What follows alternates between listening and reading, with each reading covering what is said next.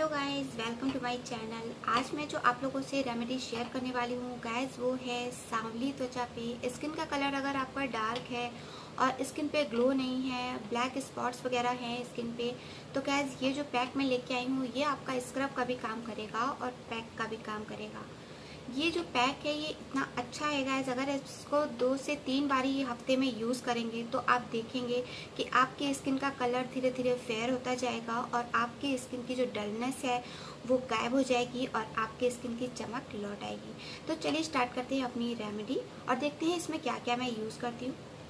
तो चलिए स्टार्ट करती हूँ अपना वीडियो वीडियो स्टार्ट करने से पहले मैं आपको बता दूँ गैस अगर आप मेरे चैनल पे नए हैं तो गैस प्लीज़ मेरे चैनल को सब्सक्राइब कर लीजिए। नोटिफिकेशन ऑन कर दीजिएगा, जिससे मेरे आने वाले सारे वीडियो आप तक फटाफट पहुँचेंगे। तो चलिए, ज़्यादा देर ना करते हुए स्टार्ट करती हूँ मैं अपना वीडियो इसके लिए हमें सबसे पहले चाहिए होगा बेसन।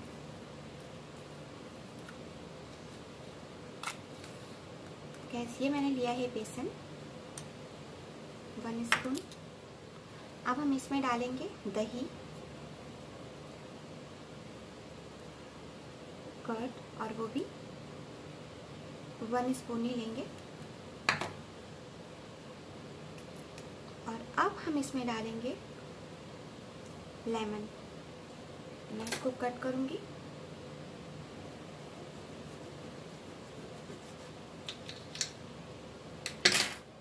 मैंने इसको कट कर लिया है।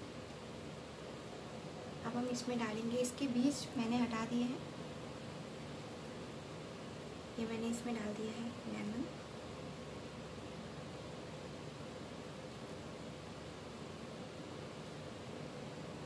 और इसमें जो मेन चीज़ है, जो मैं मिलाऊँगी, वो है ग्रीन टी ये पैक जो है गैस आपका स्क्रब का भी काम करेगा और पैक का भी काम करेगा। आपको इसको पहले, मैं आपको बता दूँ ये मैंने ली हुई है ग्रीन टी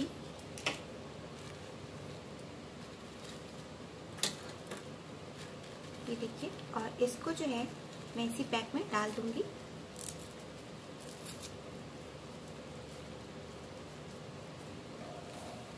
ये इस तरीके से।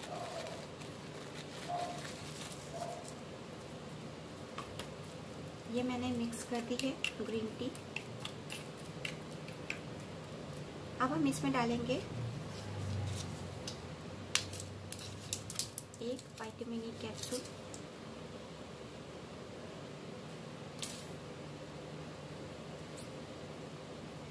गैस ये पैक जो है, आपकी जितनी भी स्किन की डलनेस है और जो भी सांवली त्वचा है जिनकी भी, उनके लिए ये जो पैक मैं बना रही हूँ, ये रामबाण इलाज है। जिसको अगर आप यूज़ करेंगे तो आप देखेंगे आपकी स्किन की जो चमक है वो वापस लौट आएगी ग्लोइंग हो जाएगी आपकी स्किन।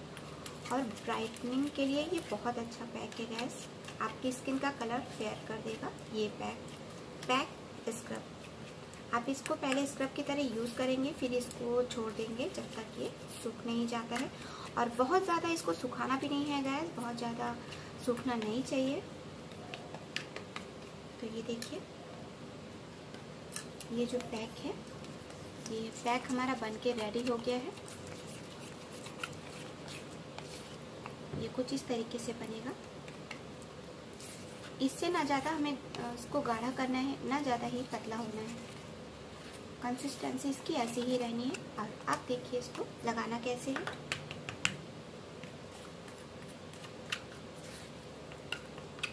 कम से कम छः से सात मिनट आपको इसकी मसाज देनी है। यानी कि स्क्रब जो है क्योंकि बहुत ज़्यादा हार्ड नहीं है गैस बिल्कुल लाइट है.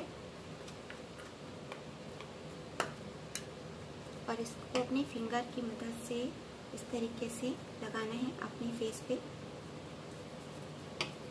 पूरे फेस पे अच्छी तरह मसाज देनी है आपको. छः से सात मिनट और जब धीरे धीरे आप इसको यूज़ करने लगेंगे, उसके बाद देखेंगे आपकी जो स्किन है बहुत ज़्यादा ग्लो होने लगेगी। और सांवलापन जो है, वो आप भूल जाओगे। ये आपकी स्किन को बहुत ज़्यादा ब्राइट कर देगा। आपकी स्किन को गोरा बनाने के लिए बहुत अच्छा पैक है ये। तो इसको इस तरीके से आपको और हल्के हाथों से स्क्रब करना है, इसको बहुत ज़्यादा आपको ज़ोर नहीं लगाना है स्क्रब करते समय। तो इस तरीके से आपको स्क्रब करना है।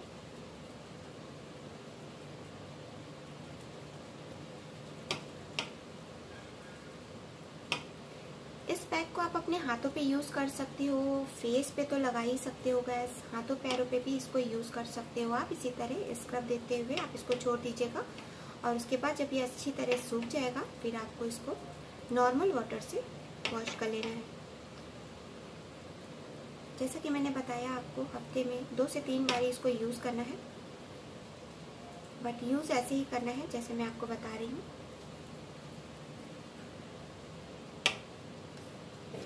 गैस देख रहे हैं आप इसको, इस तरीके से इसको यूज़ करना है और इसको छोड़ देना है। जब ये अच्छे से सूख जाएगा, तब इसको आपको वॉश करना है और नॉर्मल वाटर से, जैसा कि मैं हमेशा बोलती हूँ।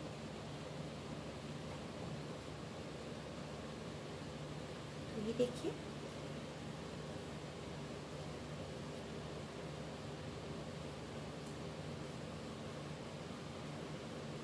इसको लगाने के बाद आपकी स्किन का जो कलर है गैस बहुत ही अच्छा हो जाएगा। देखिए, मैंने अभी लगाया है और अभी जो है वो फ़र्क पड़ गया है। आप देख सकते हैं। मेरी ये स्किन देख लीजिए और मेरी ये स्किन देख लीजिए और मेरी ये स्किन देख लीजिए।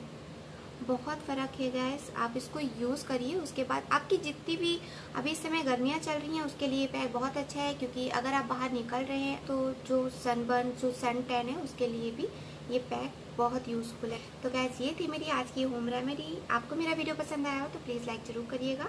और अब मैं मिलती हूँ आप लोगों से अपने अगले नेक्स्ट वीडियो में। तब तक के लिए बाय